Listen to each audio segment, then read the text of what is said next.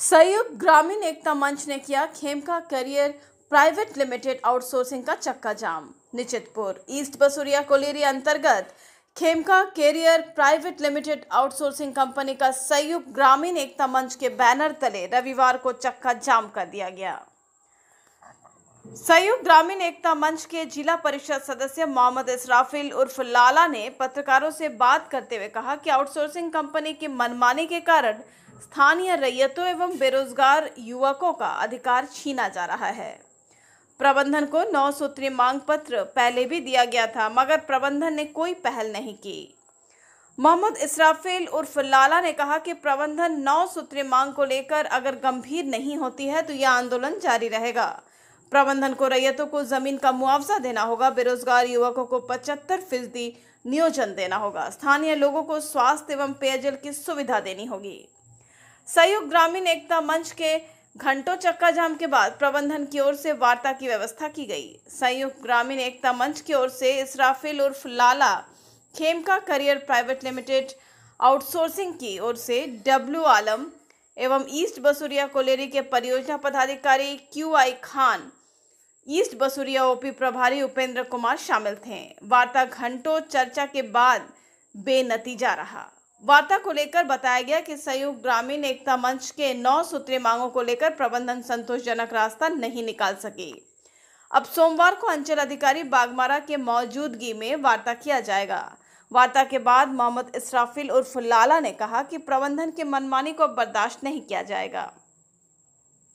हमारा नौ सूत्रीय मांग है, उससे कम हम स्वीकार नहीं करेंगे। जब तक उचित वार्ता नहीं होता है और रैयतों के साथ स्थानीय बेरोजगारों को रोज़गार से काम पर कोई समझौता नहीं होगा। सहयोग ग्रामीण एकता मंच का चक्का जाम आंदोलन जारी रहेगा। आंदोलन को लेकर मजिस्ट्रेट तैनात किया गया था।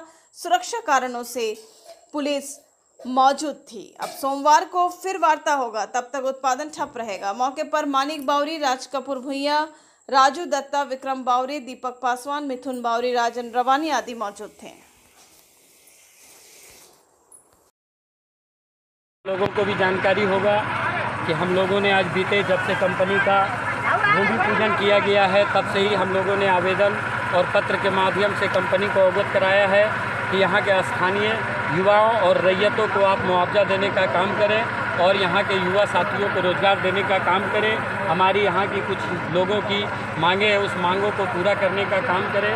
लेकिन कंपनी ने आज तक बीते तीन महीना हो गया उन्हें आवेदन दिए हुए, उसको आज तक किसी प्रकार का कोई पहल करने का प्रयास नहीं किया गया है, जिसको लेकर हम लोग तीस पाँच तीस चार दो हज़ार तेईस को अनिश्चितकालीन बंदी का आह्वान किया था, जो किसी कारणवश उस बंदी को चौदह पाँच दो हज़ार तेईस तक स्थगित कर दिया गया था।